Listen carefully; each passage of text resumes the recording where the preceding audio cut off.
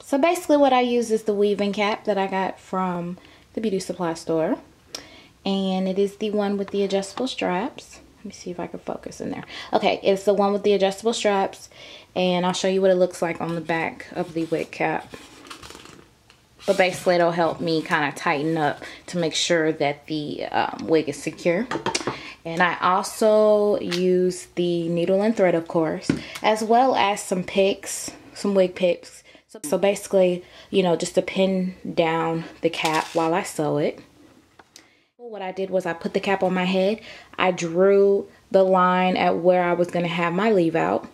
Um, of course, I pulled out the sides and I kind of adjusted it to where, um, you know, my edges would be able to be out to cover the, uh, the remaining of the hair and pretty much yeah that's what I did. And I just went ahead and just started sewing um, the four tracks to it.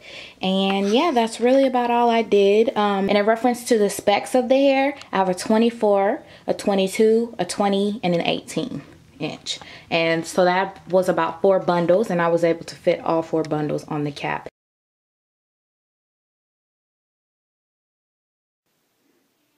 Hey guys, okay, so I'm finally finished. Um, what I did was I wanded the ends after I got finished, and I also put some combs on the wig. That way I can just easily remove it off and on. This took me about two days because I was lazy. Um, if you guys are interested in seeing me install it, um, stay tuned. But basically, this is just how the outcome came with my three-fourths wig.